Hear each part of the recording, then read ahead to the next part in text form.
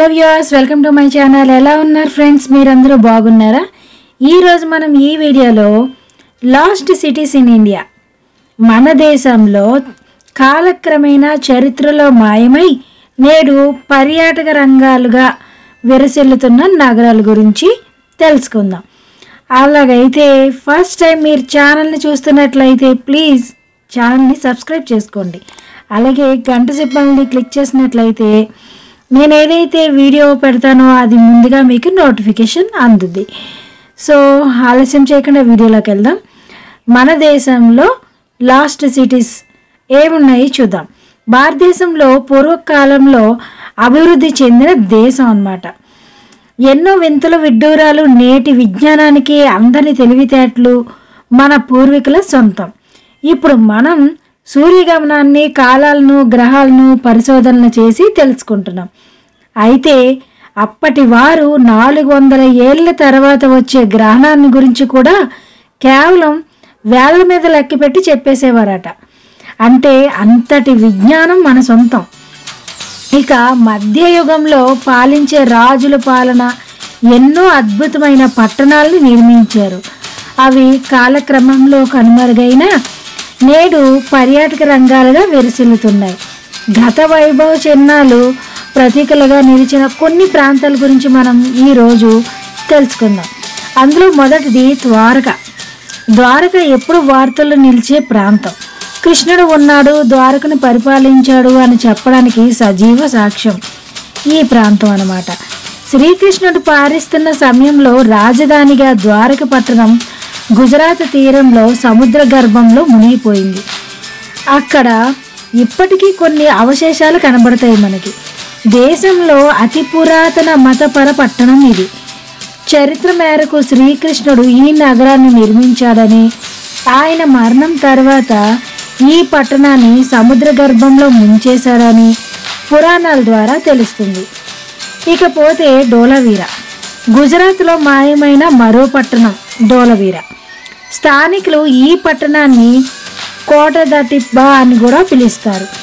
ఈ పట్టణంలో ఇప్పటి వరకు అంటే పురావసత్తు ప్రదేశంలో సింధు లోయ నాగరికత సంబంధించిన పురాతన శిథిలాయాలు ఉన్నాయన్నమాట. ఈ పురాతన అవశేషాలు క్రీస్తు పూర్వం రెండు వేల ఆరు వందల యాభై పద్నాలుగు వందల యాభై నాటిగా పురావసత్తు శాస్త్రజ్ఞులు చెప్పారు. తర్వాతది లోదల్. గుజరాత్ రాష్ట్రంలోనే మరుగున పడిన మరో పురాతన పట్టణం లోదాల్ ఈ పట్టణం పురాతన సింధులోయ నాగరికతకు కేంద్రంగా విరసిల్లింది.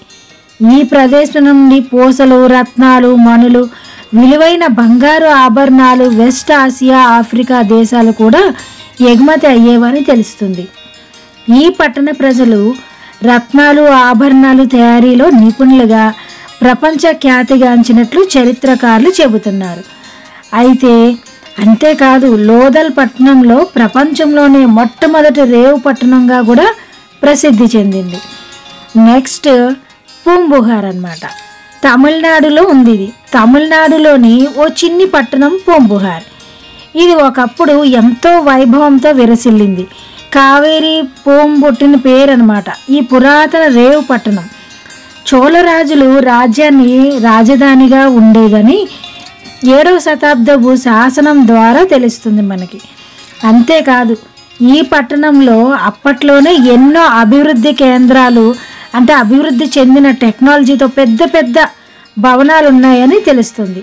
చోళరాజులు పట్టాభిషేకాలకు ఈ పట్టణం కేంద్ర బిందువు అని తెలుస్తుంది అనమాట ఆ తర్వాత ముజరింగ్ ముజరిస్ ఇప్పుడు ఇది మన దేశంలో అతి పురాతన సముద్ర రేవు పట్టణం అనమాట సుమారు ఒకటవ శతాబ్దంలో ఉండేదని తెలుస్తుంది.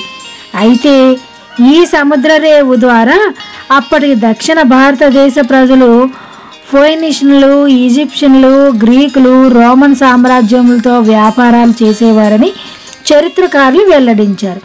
అయితే ఈ ప్రదేశం సుమారు కేరళలో కుచిన్కు ఉత్తరంగా పద్దెనిమిది మైళ్ళ దూరంలో ప్రస్తుతం క్రాగాన్ కోర్కు సమీపంలో ఉండేదని భావిస్తున్నారు. అంతేకాని మొజారిస్ పట్టణం ఖచ్చితంగా ఎక్కడ ఉండేది అనేది చరిత్రకాలు అంటే పురావ శాస్త్ర శాస్త్రజ్ఞులు కూడా ఇప్పటికీ కనిపెట్టలేకపోయారట. తర్వాత ఇక నెక్స్ట్ విజయనగరం. ఈ విజయనగర సామ్రాజ్య వైభవం గురించి ఎంత చెప్పినా తక్కువేనని పురాతన శాస్త్రజ్ఞులు చెబుతున్నారు. విజయనగరం కృష్ణదేవరాయలు పాలిస్తున్న వైభవవేత రోజుల్లో సుమారు ఐదు లక్షల మంది ప్రజలు ఉండేవారని తెలుస్తుంది.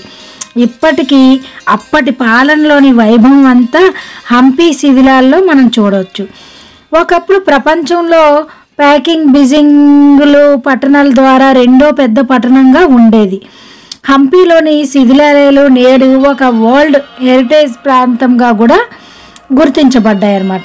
తర్వాత కాలింబంగాన్ హరప్ప చంద్రకి చరిత్రకు సజీవ సాక్ష్యంగా కాలిబంగన్ పట్టణం ఉంది. ఇప్పటికీ హరప్ప శిథిలాయాలు కలిగి ఉంది. రాజస్థాన్లోని గగ్గల్ నది దక్షిణ వైపు భాగంలోని ప్రదేశాన్ని కాళీబంగన్ పట్టణం అనేవారు సింధులోయ నాగరికతను ఈ ప్రాంతం కేంద్ర బిందువు అని చరిత్ర చెబుతుంది. ఇక్కడ ప్రపంచపు మొట్టమొదటి దున్నిన పొలం వెలుగులోకి వచ్చింది.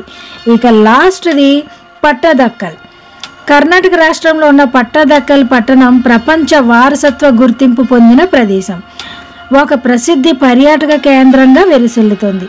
చాళుక్య రాజులు చారిత్రాత్మక స్మారకాల్లో నేటికి ఇది పట్టణాన్ని ప్రత్యేక గుర్తింపు సొంతం చేసుకుందనమాట.